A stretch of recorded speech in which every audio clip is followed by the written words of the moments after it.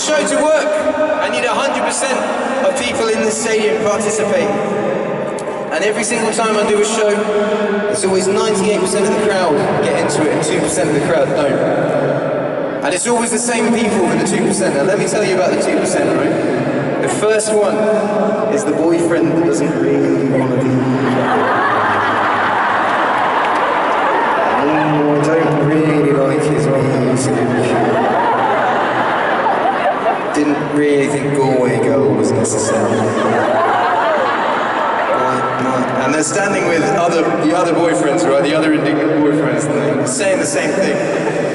I know, right? Why was he on Game of Thrones? What was that?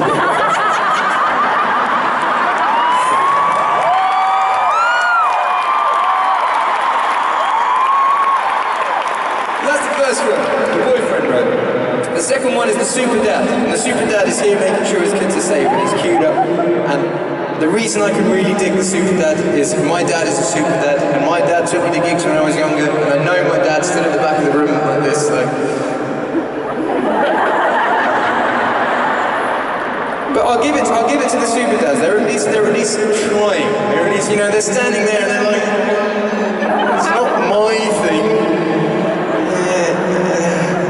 I mean, it's good that kids are getting to gigs nowadays, I guess. Live music, I guess that's the positive thing. And they'll be standing with the other super dads like, oh god, the traffic was bad getting in. We're going to be stuck on that on the way out. You don't have to be stuck. You can definitely leave before the? That's a great idea. Let's leave before the encore. No, no, no. We'll, of course, we'll stay for the encore. And they'll be saying the same things every single night. Is the beer expensive? Thirty pounds for a t-shirt.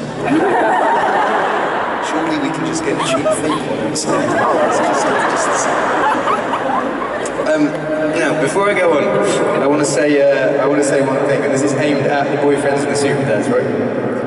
You are giving up a Saturday night of your time to do something you don't really want to do for someone that you love to make them happy, and I think that's a really great thing. So I want to say thank you first and foremost.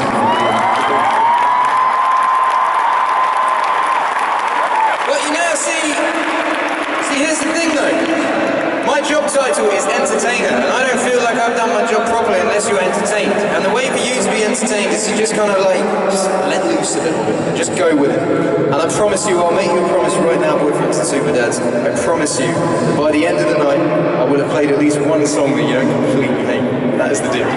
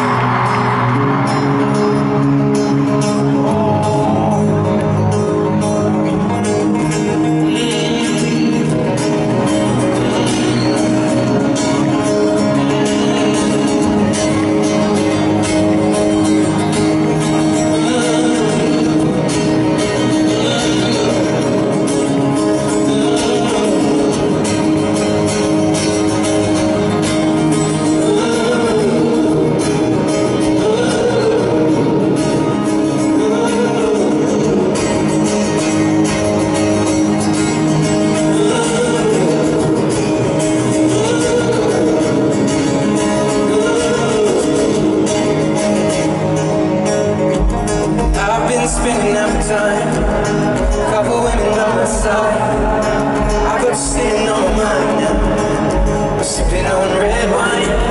I've been sitting here for ages, ripping out the pages. How'd I get so faded? How'd I get so faded?